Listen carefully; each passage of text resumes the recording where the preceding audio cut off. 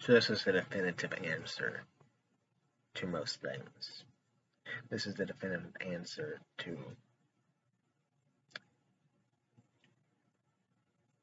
all these things people question each other about. My answer is I do not care.